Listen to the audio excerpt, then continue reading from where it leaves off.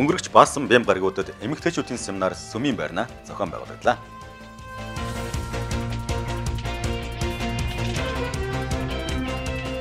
Семинарт Америк нэгдсэн улсын Калифорни мужидх амийн гол чуулганы тэргүүн пастор Белинда Лү урилгаар хүрэлцэн ирж нийт ирсэн бүсгүүчүүдийг эзний үгээр урамшууллаа.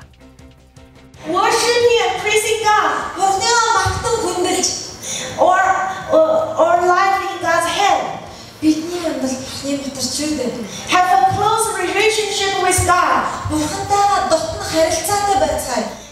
Хүрэлцэн ирсэн бүсгүүчүүд маань эзэн дотор нэгдэн магтаал хүндлэлийг өргөж эзний үг дотор суралцсандаа сэтгэл өндөр байсан юм.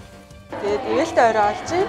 Тэгээд Блинда пастор ярьсан ярианаас маш их зүйлийг ойлгож авлаа. Тэгээд стер хатны тухай бид нар илүү их мэдэж авлаа. Тэгээд эмэгтэйчүүд бид а, гадаад гоо үзмжээсээ илүү бас давхар а, дотоод гоо үзмж буюу сүнслэг амьдралаа илүү их анхааран хөгжүүлэх хэрэгтэй гэдгийг ойлголоо. босгон байгуулт их авлаа. Тий.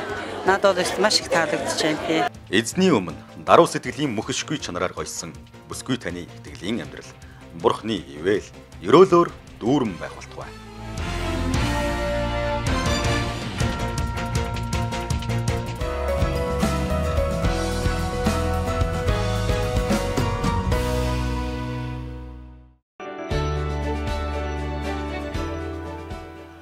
Өнгөрөгч баасан гаригийн шүн шөнийн залбирлын цуглаан сүмийн байранд боллоо.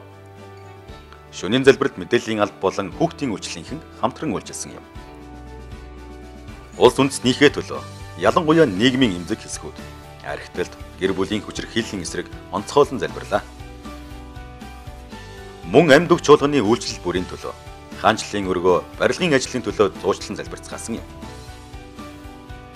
Хүмүүр бурхан эзний хүслийг тэнгэрт байдаг шиг энэ газарт биелэх болтугай гэсэн зүрх сэтгэлийг тэн ирж сүнслэг ертөнцид ялалтыг тунхаглан бурхан эзнээ магтах магтаалын орчгууд итгэлээр нэгдэн зогсцоосон юм а.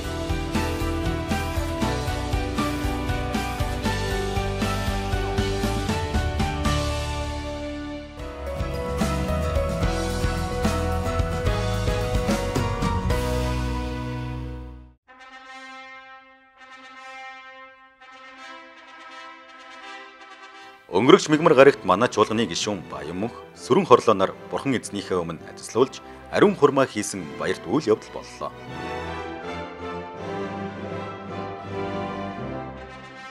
Хуримд хуримлагч хосуудын гэр бүлийнх нь сургуулийн болон сүмийнхэн нанд найз нар өргөдөн ирж тэдний баяр хөөрөөс хуваалцсан юм. Гэр бүл гэдэг бол улс үндэстнийг бүрдүүлэгч амин чухал эдис юм. Гэр бүл сүрвэл улс үндэст нь сүрч гэр бүл хүчрхэг байвал улс үндэстэн ч хүчрхэг байдаг. Бурхан эзний хүслийн дагуу гэр бүлэн барьж байгуулах нь баяр хөөртэй, аз жаргалтай амьдралыг байгуулах хамгийн зөв сонголт шийдвэр билээ.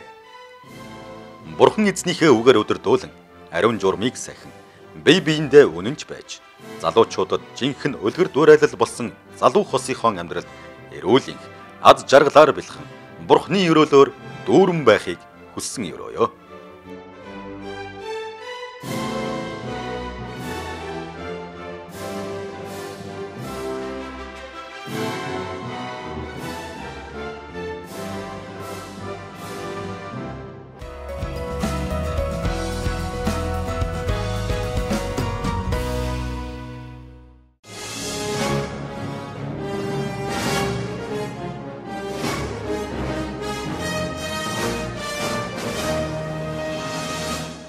Мигмар гараг бүрийн 12 цаг. амьд үг сүмийн их танхимд Амин гол үйлчлэлийн сургуулийн чайпл цагт хүрэлцэн ирж урамшуулгадсан зоригжуулагдаж зэвсэглэгдэн бэлтгэгдээрэй. сэргээгдэж шин зүйлийг хүлээн аваарай. Хүндэтгэл мөрөглийн цаг хүн бүрт нээлттэй. бүгдээрээ мегмар гарагт уулзсай.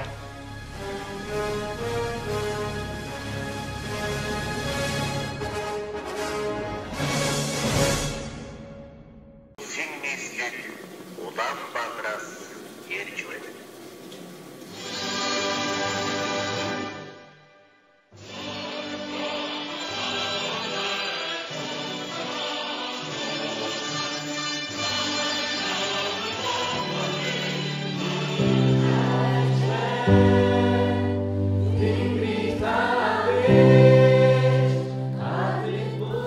Өглөөгөр эзэн миний дуу хоолойг сонсно. Өглөөгөр би түүний өмнө бараалхан хүссэн хүлээх болно. Төвний бурханлаг хүмүүс ээ. Та нар эзэнд магтаалыг дуулж түүний ариун нэрд талархал өргөхтөн. Амьдаг чуулганы өглөөний залбирлын цуглаанд таныг урьж байна. Өглөөний залбирлын цуглаан даваагаас баасан наргуудад 7:30-аас 8:30 хооронд явагдаж байна. Хамтдаа Бурхан эзнийхээ хайр инрэл талархан түүнийг магтах онцгой цагт нэгдэцгээе.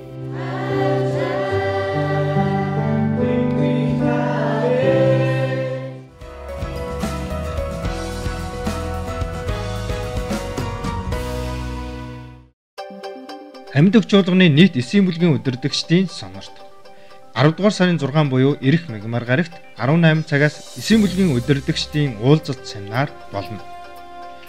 Эсийн бүлгийн бүх удирдагчдыг энэхүү семинартаа цагтаа хүрэлцэн ирэхийг сануулж байна.